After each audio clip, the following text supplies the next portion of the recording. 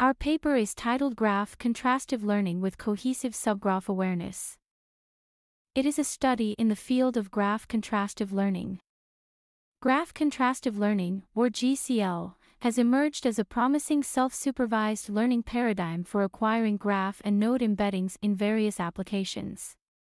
The core principle of GCL is to maximize the similarity of representations between augmented graphs derived from the same original graph, enabling the learning of an effective GNN encoder.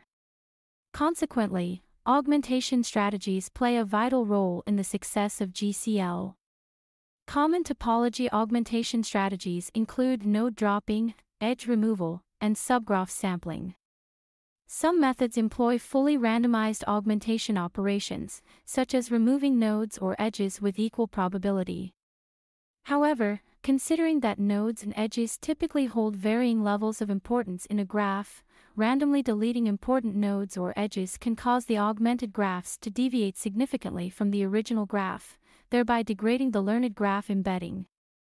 To address this concern, we propose the incorporation of cohesive subgraphs as a guide for topology augmentations. Cohesive subgraphs are densely connected subsets of important nodes and edges in a graph. Various cohesive subgraphs, such as K-core and K-truss, with specific semantic definitions, have been recognized as critical structures in domains like social network analysis and bioinformatics. So the question is, how can we introduce cohesion property into graph topology augmentation? The fundamental idea behind cohesion-guided augmentation is to preserve the cohesive subgraphs in the augmented graphs. We designed CTAug, a unified topology augmentation framework that enables the flexible adaptation of cohesion-guided augmentation into a variety of graph augmentation methods. Although augmented graphs maintain a higher degree of cohesive subgraphs, there remains a risk of losing subgraph information during the process of graph embedding. To tackle this, we propose an OGSN module that enhances the ability of GNN encoder to efficiently capture cohesive substructures when encoding graphs.